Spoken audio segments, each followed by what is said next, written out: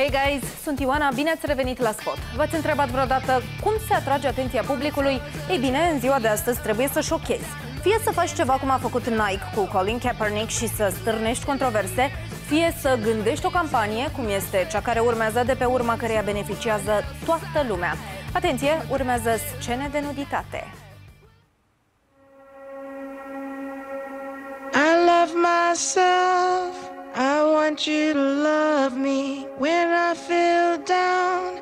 I want you above me. I search myself. I want you to find me. I forget myself. I want you to remind me.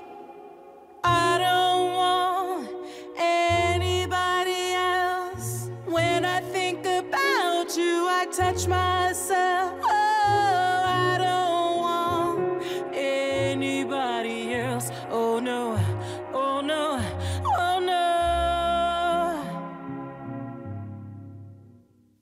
Think I would die if you were to ignore me.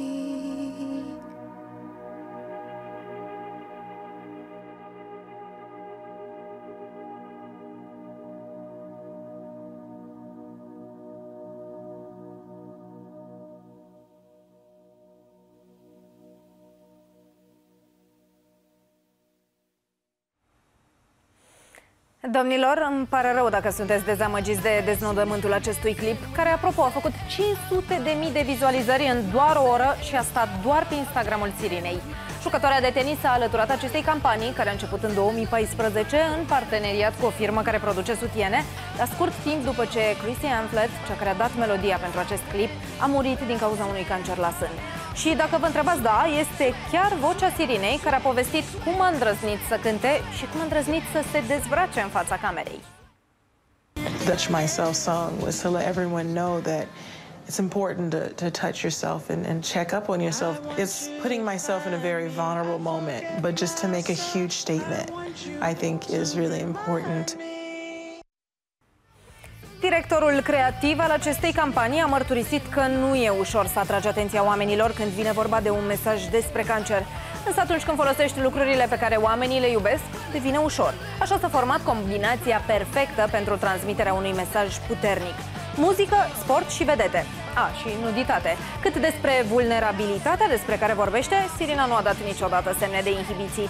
Sau cel puțin asta ne arată un alt spot al jucătoarei care e clar în centrul atenției în ultimul timp.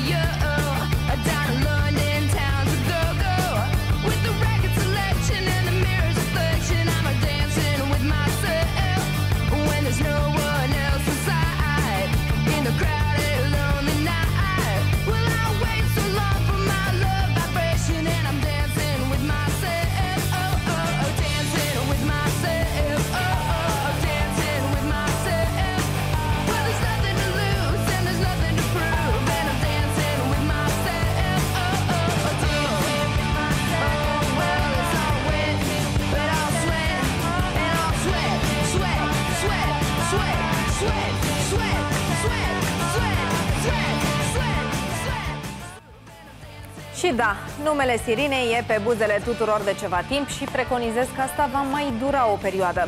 Și pentru că toate brandurile își doresc să o aibă alături, tind să cred că o veți mai vedea la spot și în episoadele următoare. Rămâneți sănătoși, bye guys!